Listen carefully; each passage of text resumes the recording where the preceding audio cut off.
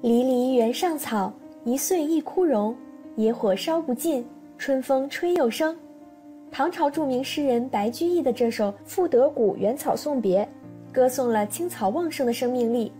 我们把具有生命的物体叫做生物，也就是说，生物的体内时时刻刻都在进行着生命活动。那生物都能进行什么生命活动呢？它都具有哪些特征呢？这个视频咱们就来说说生物的特征。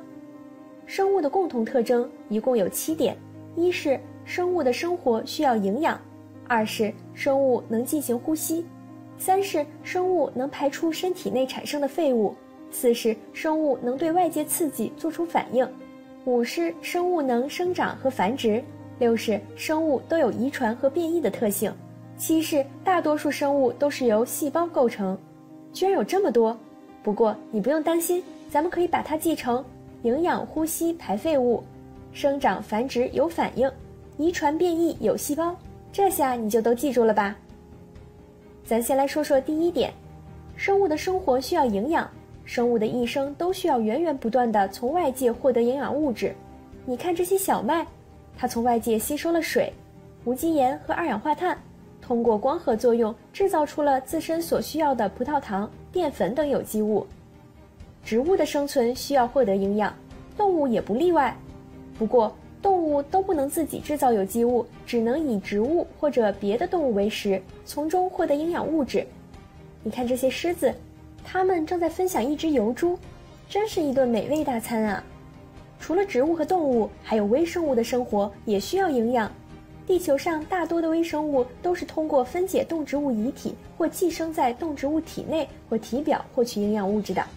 这些蘑菇正是分解了厚厚的落叶，才得以茁壮成长。说了第一点，咱再来说说第二点：生物能进行呼吸。绝大多数的生物需要吸入氧气，呼出二氧化碳。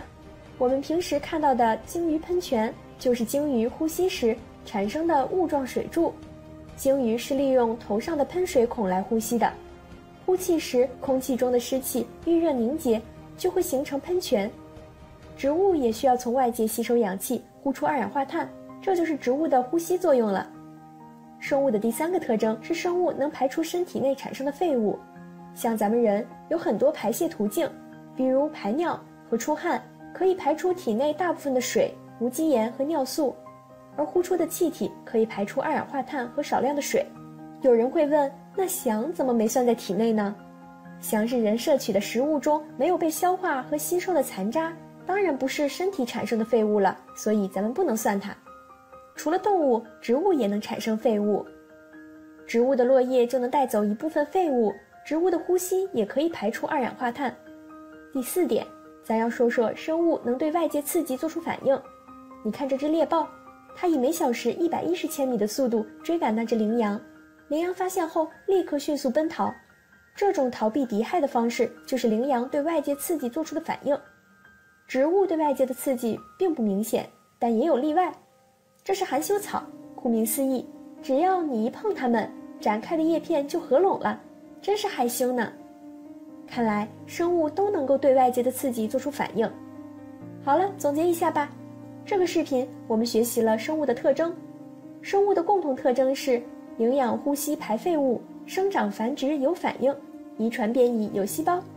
咱们主要说了。生物的生活需要营养，生物能进行呼吸，生物能排出身体内产生的废物，生物能对外界刺激做出反应，这些你都记住了吗？